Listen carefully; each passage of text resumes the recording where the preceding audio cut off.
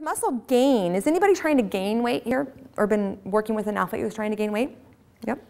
So um, weight gain can be a really, a really um, challenging one as well. And people who are trying to lose weight do not get it. They're like, I don't get it. How could you not gain weight? And people who are trying to gain weight don't get it. How, how could you not lose weight? You know. So it's this both ends of the spectrum. So with weight gain, the thing that we want to think about is you, if you want to gain muscle mass, you have to break down tissue before you can build it back up again.